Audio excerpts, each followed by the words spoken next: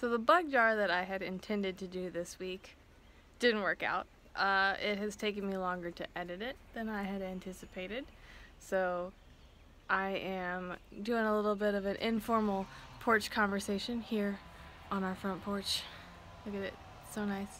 On my rocking chair. I'm not gonna rock the whole time, but I just want you to see that this is in fact a rocking chair. Uh, so my last video was about goals and about how I have been using Joni. No. She's trying to eat acorns.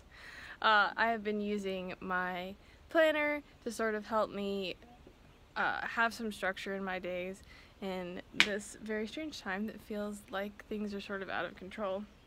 But I wanted to talk about uh, the importance of letting yourself not be productive and letting yourself not be in like go mode and doing all the things all the time mode, uh, especially now, but really at any time.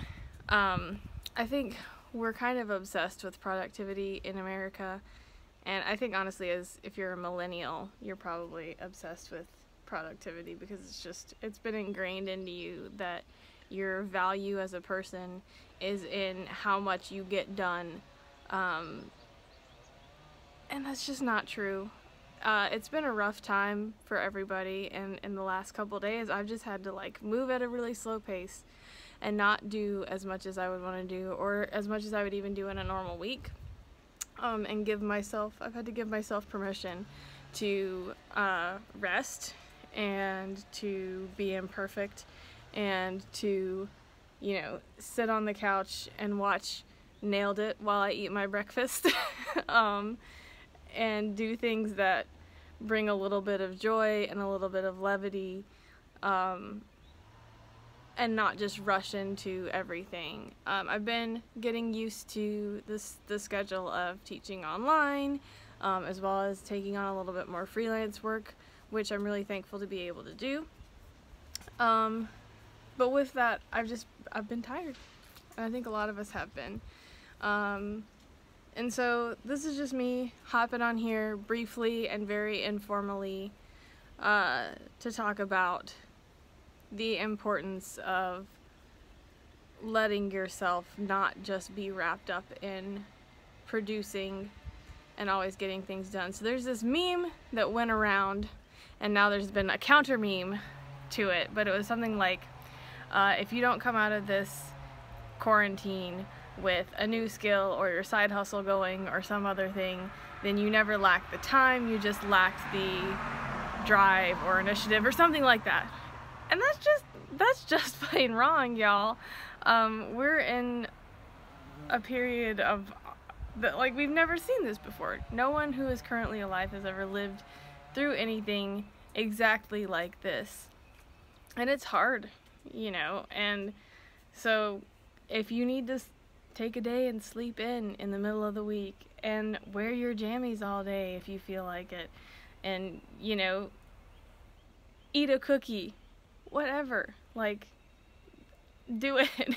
Do the things that you need to do to restore yourself and practice listening to what your body is asking of you. Now to be fair like you do need to like probably get up and move around a little bit um, and try to as much as you can eat things that are good for you because eating healthy and getting rest and um, doing a little bit of exercise, not necessarily trying to get fit, but just moving your body if you're able to. Um, those are all things that do boost your mood. We've been walking every day and it's been a lot of fun. I have enjoyed going for walks even when I've kind of been slogging through my morning and not really feeling like doing it. We get the dogs and head out to our neighbor's land. He's been really gracious about letting us and a couple of the other neighbors walk our dogs back there. And so we've done our little little traipses across his land and just being out in the sun and in the the fresh spring air that has made my eyes and face swell up today. Um, has been good for my mood and it helps me like get ready to sit down and do do things and that's something that I had never done before I'd always like gotten up and gone straight into you know I eat and then I then I work and that was kind of my my go-to for my mornings. And now that we have this little morning ritual of getting up and doing a little hike with the dogs, um, I feel better. I feel more focused and, and more able to actually do some of the things that I need to get done. So it's it's interesting giving myself that little bit of time to restore myself every morning um, and giving myself permission to not not work immediately has helped me do better work than I thought I could. So anyway, I feel like I'm starting to ramble a little bit, so maybe I should stop this video and let you get on with your lives. Um, but yeah, I think it's important. It is important to make goals and set them and try to keep up with them, but it's also important to know that life is not just about achieving and accomplishing and being productive, and that there are other facets of it that we have to take into consideration and listen to and and implement. We have to implement that rest.